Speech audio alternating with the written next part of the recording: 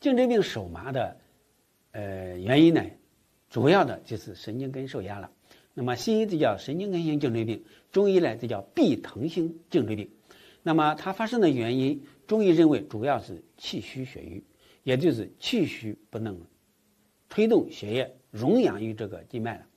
那么因此中医的治疗呢，主要的就是采用补气活血。临床上常采用，比如说用黄芪、当归，这个加上一些桑枝了、桂枝了、天麻了、钩藤了等等这一些药物进行治疗。严重的病人也可以加上一些虫类药，比如说全虫、蜈蚣、姜蚕、地龙、小白花蛇、乌梢蛇等等，这样就可以很好的缓解这个麻木的症状。那么配合治疗的话，也可以进行颈椎的牵引，也就是用颈椎牵引带牵引以后。解除了对神经根的压迫，麻木也可以缓解。另外，对麻木的病人呢，